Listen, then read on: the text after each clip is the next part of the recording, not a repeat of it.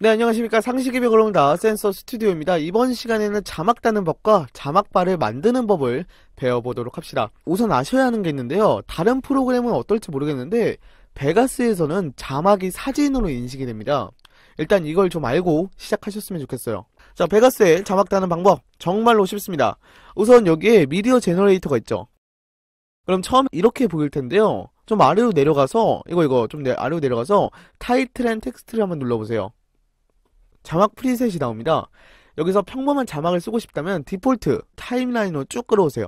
이렇게 쭉 끌어오세요. 그러면 이렇게 자막을 넣으란 옵션이 생성됩니다. 자, 이게 글꼴이고요. 이게 글자 크기, 이게 글자를 굵게 해주는 거고, 이게 글자를 기울이게 하는 겁니다. 한번 볼까요? 네, 이렇게 기울이게 하는 거고요.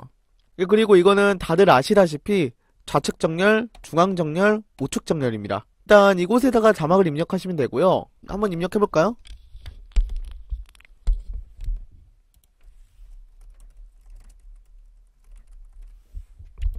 네, 이렇게 입력을 했고요. 자, 그리고 이게 글자 색입니다.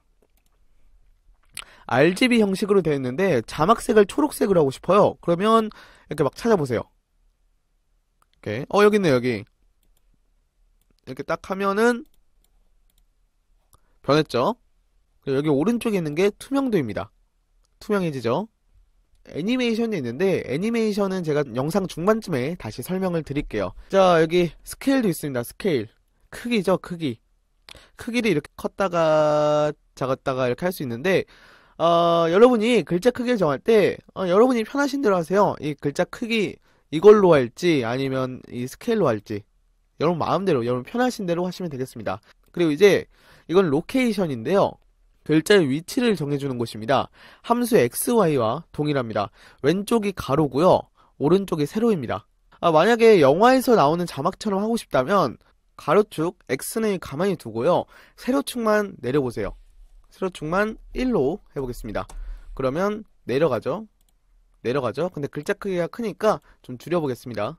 그러면 영화에서 나오는 것처럼 자막이 나오죠. 네. 그리고 어드밴스드는 제가 좀 이따 설명을 할게요. 아웃라인은 말 그대로 자막의 바깥쪽 선을 만들어주는 역할을 합니다. 자, 검은색 선이 생겼죠? 이렇게요. 자, 섀도우는 말 그대로 그림자입니다. 섀도우 기능을 키고 어, 자막의 그림자를 만들 수 있습니다. 이렇게 가로축과 X축과 Y축, 가로축과 세로축을 확인하시고요. 잘 안 보이네요. 흰색으로 좀 하고 흰색으로 좀 하고 볼게요. 자, 보이죠? X축과 Y축을 이렇게 만져주시고 자신이 하고 싶은 데에다가 만들어주세요. 저는 딱 뒤에 붙는 게 좋을 것 같아서 어... 네, 여기가 딱 좋겠네요. 그리고 마지막으로 그림자를 뿌옇게 하는 정도를 결정합니다. 자, 저는 한 이 정도면 좋겠어요. 그러면 이렇게 그림자가 완성이 되죠. 자, 여기까지가 인터페이스입니다. 자막을 어떻게 넣는지 아시겠죠? 그래서 이제 우선은 자막을 넣어야 하는데 베가스를 처음 하시는 분들이 제일 어려워하는 게 이겁니다. 자막을 입력하는 법입니다. 에? 자막 입력하는 게 뭐가 어려워서? 예, 해보시면 아시겠지만 이거 겁나 어려요. 이 소니가 일본 회사여서 그런지 모르겠는데 소니에서 이것을 자꾸 업데이트를 안 해줘요. 자, 센서 잘생기면 그대로 입력해볼게요. 저는 아무런 손도 안 댔습니다. 그냥 센서 잘생김을 쳤는데 이렇게 나옵니다. 받침이 있는 글자를 쓰고 그 다음 글자에서 매번 이렇게 돼요. 띄어쓰기가 자동으로 돼서 모음과 자음이 분리가 되는데요. 어, 상당히 껄끄럽죠? 저는 그냥 이렇게 physical로 써요. 그냥 physical로 쭉 씁니다. 근데 어, 많이 해보지 않은 분들 같은 경우에는 그냥 메모장에 적고 복사 붙여넣기 하는 방식으로 하는 게 더 편할 겁니다. 어떻게 하냐면 센서 센서 자, 자기가 쓸 자막을 미리 적어놔요. 그리고 여기다가 복사 붙여넣기 하면 되죠. 이게 더 편합니다. 저도 빠르게 영상을 제작하는 경우에는 이렇게 많이 하거든요. 자, 다음으로는 이제 자막 애니메이션입니다. 자막에도 애니메이션이 있는데요. 아까 제가 이 애니메이션을 설명을 안 드렸잖아요. 지금 설명을 드리겠습니다.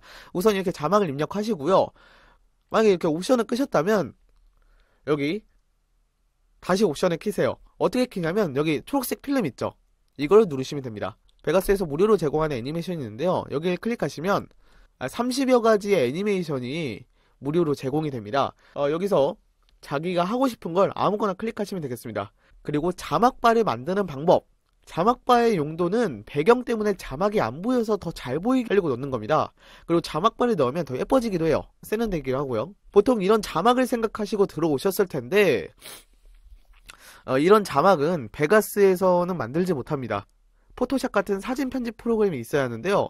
대신 이런 형식의 자막만은 만들 수 있습니다. 아, 좀 어려우니까 천천히 해보자고요. 천천히. 우선 자막을 만들어 주세요. 일단 전 딱 영화 자막 같은 크기로 만들어 보겠습니다. 10 크기로 하고요. 중간, 중간, 그리고 1. 자, 그리고 글씨체가 좀 마음에 안 드네요. 제가 마음에 드는 걸로 하겠습니다. 어, 이거 괜찮네요, 이거. 자막 만들었으면 절 그대로 따라 하시면 됩니다. 여기 어드밴스드가 있죠. 어드밴스드를 눌러주세요. 그리고 여기 백그라운드를 뒷배경을 좀 해주시기 바랍니다. 어, 보통 검은색으로 많이 하거든요. 그래서 저도 검은색 바탕에 흰 자막을 사용하겠습니다. 그리고 옆에 투명도가 완전히 투명함으로 되어 있을 거예요. 이걸 좀 올려주세요. 그리고 옵션 창을 닫아주세요. 타임라인이 이걸 보시면 이쪽에 네모가 있어요. 네모. 이걸 클릭해보세요. 그러면 이런 식으로 뜰 텐데요. 하단, 좌측 하단에 여기 마스크가 있습니다. 마스크. 마스크를 눌러주세요. 자, 그리고 옆에 좌측에 사각형이 있습니다. 사각형. 이걸 눌러주시고요. 그 다음에 사각형 안에 자막이 다 들어갈 수 있을 정도의 크기로 맞춰주시기 바랍니다. 자, 이걸 어떻게 확대 축소하냐면 키를 이용해서 하시면 되겠습니다. 자, 이렇게 맞춰주세요. 이렇게 맞춰주세요. 자, 그러면 이렇게 자막바가 생기는 걸 볼 수가 있습니다.